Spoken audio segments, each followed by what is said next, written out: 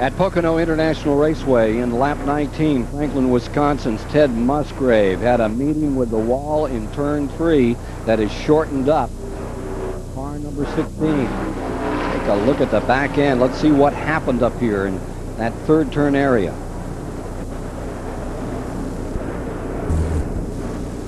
Just behind Todd Bodine. Like Terry Labonte was lucky to get through there and slams it into the wall just when things were beginning to get straightened out for him. South a new crew chief. Ron, Robin Pemberton came back with that group, when he was ninth in points coming into this race.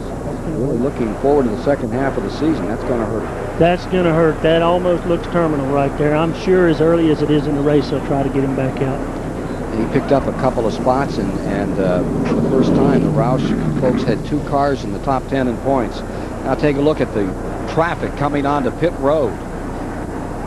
The pace truck stays out. Everybody else is in the pits, and let's go down there with Dick Berggren. Geoff Bodine pulls his car in. They were originally going to go with new tires, but they're going to put scuffs on instead. And the scuffs are what you ordinarily would use if you're afraid your tires are heating up too much.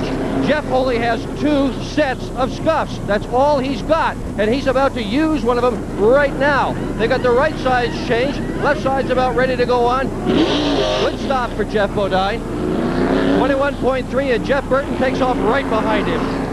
At McDonald's quick pit update and look at that madhouse on pit road at lap 21 which is just about the place you called it where they would want one if they could have it certainly didn't want to call it for what happened to Ted Musgrave. Yeah, it's a good time to get a fuel reading that's half a stop and even a, a really big break for the Hoosier cars to get a look at their tires. Let's go down to Randy Pemberton. Well, it was scuffs for the Hoosier wearing Ward Burton as well. They, they put scuffs on that car. As far as Dale Earnhardt, who would come up through the field nicely, uh, four stickers for the uh, Goodyear wearing Dale Earnhardt team. The Walt the Waltrip car, number 17, was running about half a lap behind, running very slowly out there. Way back, I don't know what the problem was. They're still in the pits right now. Looked like some uh, repair work at the top of the roof.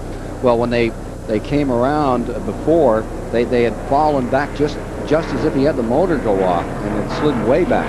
Well, no, here short. We'll try to get a report on that very shortly. Let's get down to Rick Benjamin in the STP Pit Center.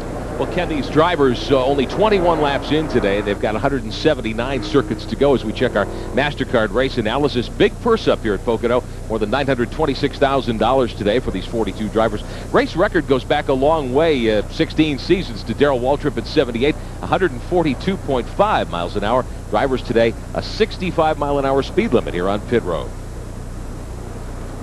When uh, Jeff Gordon came in, only a couple of tires were put on the uh, 24 car. Let's go quickly to Kenny Wallace. Okay, guys, we're here with Teddy Musgrave. Uh, Ted, you guys were just getting settled in. Uh, can you tell us what happened? Yeah, pretty early in the race, you know, everybody was uh, just sorting their cars out, you know, and we were in single file going into three, and uh, guy up front checked up a little bit, and everybody just kind of went in a little slow, but uh, last car in line, uh, it was Derrike. He must not have noticed that we were slowing down, and flat ran in the back of us, turned us around, and, you know, put us out for the day. I, I can't understand why he just didn't look a little further ahead. Well, Ted, this Family Channel Ford's been running good all year long. You're ninth in the points right now, and hopefully you guys can get it back out, you think?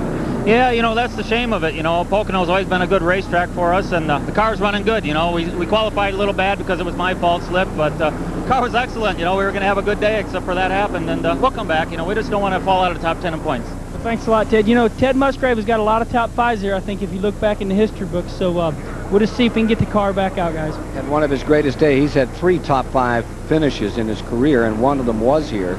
You saw Jeff Burton coming out.